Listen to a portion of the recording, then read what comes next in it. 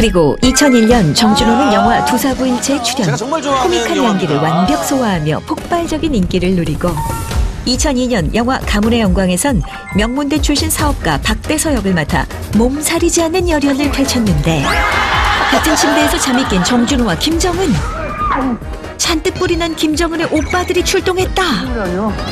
저는 그런 거 한 적 없습니다.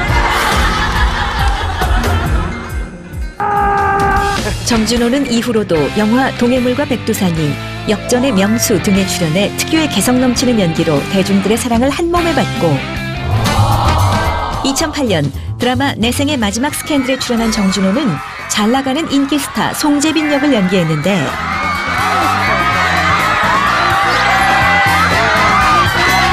그리고 톱스타 정준호에겐 또 다른 모습이 존재했다.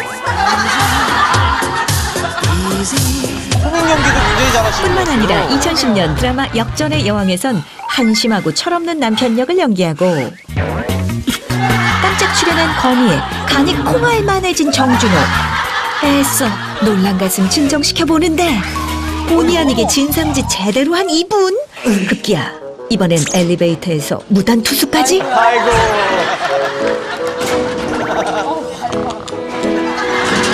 어쩔 수 없이 남편 정준호를 짐짝처럼 싣고 가는 김남주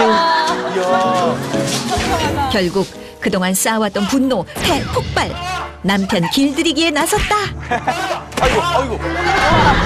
극 중에서 아낌없이 망가지는 건 물론 허점 많고 코믹한 캐릭터로 폭발적인 인기를 누린 정준호는 2010년 MBC 연기대상에서 최우수상을 수상하는 기쁨을 누린다 그리고 2015년 드라마 달콤 살벌 패밀리에선 충심파 보스 윤태수 역을 연기하고 영감탱이는 뭐고 노망은 뭐요? 어른을 공경할 줄 알아야지.